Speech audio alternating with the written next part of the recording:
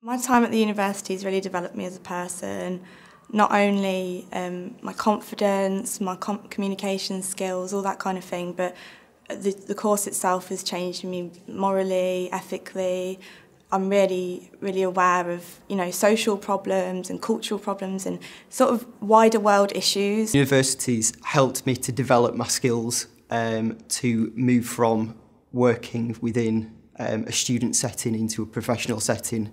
I found the facilities at the university very helpful, uh, in particular the library, uh, knowing that um, it's open 24 hours and it gave me the opportunity to be able to go into the library uh, with the flexibility of working at the same time. Within the social work degree you uh, do two years of placement which is in your second and third year.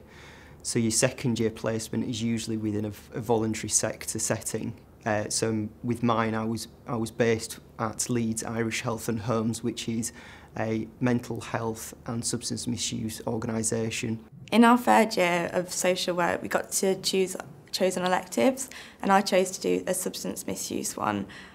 And from that, I got the opportunity to go to Prague to go and do drug and alcohol street work.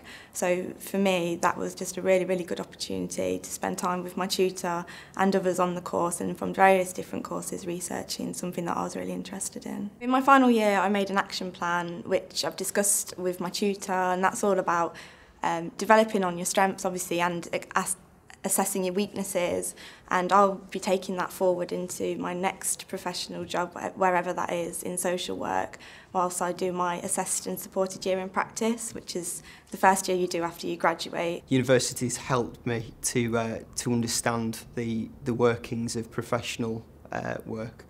Um, it's given me the opportunity to to to understand the progression from academic work into the professional work. I've really loved it. And even when I've found that I've struggled, I've found that those struggles have kind of made me look at it differently and just love it more. So I'm, I'm really excited to start my next journey and to my professional career.